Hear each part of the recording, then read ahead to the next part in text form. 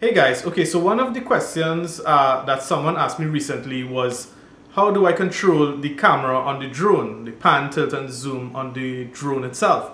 And a lot of the times when I'm flying the drone, it's actually really, really bright because the sun is out. And you'll notice that when you actually look at the footage, you'll notice that the footage is dark. It's not dark because the sun isn't out. It's actually dark because the sun is out and the image sensor actually picks that up. But that's beside the point. Um, the question was basically a really genuinely um, honest question, and there is a lot that goes on behind the scenes when we have to capture this drone footage. Uh, firstly, because the sun is shining, sometimes the sun is shining at an angle, um, it's easy to put your back against the sun when you're flying the drone. However, a lot of the times when you have to take drone footage, it's not like you can actually move the sun. So sometimes the drone has to fly into the sun and you are actually looking line of sight at the drone, especially since they recommend that you never fly your drone out of the line of sight. And so a lot of the times I fly my drone by line of sight. Um, and so a lot of the times my eyes hit the sun. And I've learned that when the eyes hit the sun for a few seconds or so, it really affects your vision. And so a lot of the times I have to actually estimate or guesstimate how I'm actually flying the drone, especially when it comes to the sun. So a lot of the times, if I'm flying that drone out into the sun, I only look until it reaches a certain height and then I look away from the drone. And so a lot of it, as I say, is actually guesstimating.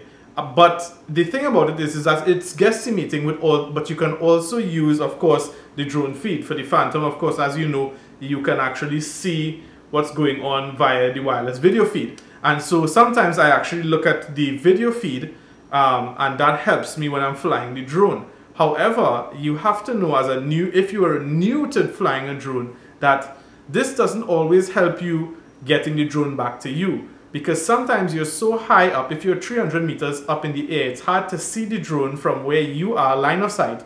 And also, it's hard for the for you to see where the drone is pointing. And if you don't know where the drone is pointing, you might be pressing forward and that drone might actually be not flying to you but away from you depending on how it's oriented in the sky.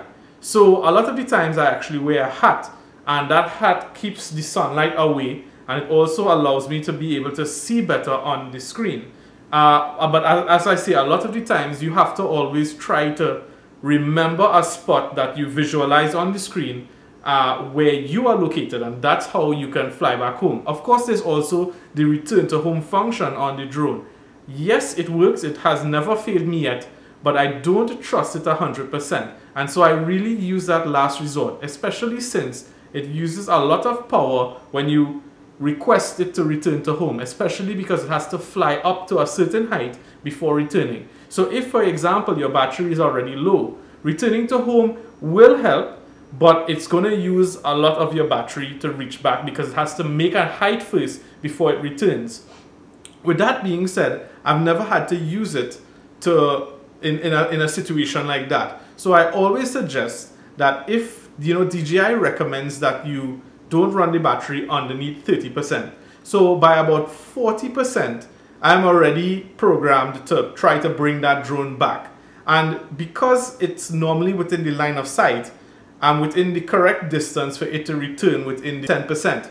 And a lot of the times as well too, in terms of getting this footage, you have to always remember that you are controlling the gimbal, of course, and you have a certain amount of control of the gimbal.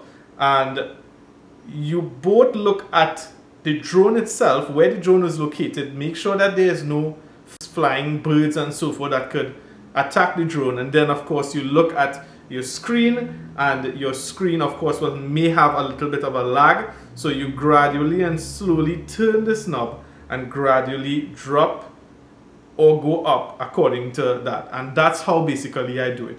So guys, I hope that this helps you understand what goes on in the mind of, a, of doing the actual flight. It's It can be stressful.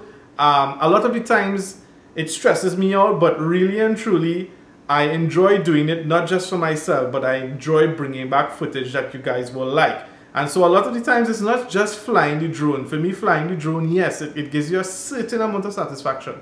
But really, the amount, the, the, the most amount of satisfaction I get is actually bringing these videos back to you and sharing it with you guys. So guys, I hope that you enjoy my videos. Please subscribe to my channel and I'll see you guys again soon. Take care. Objects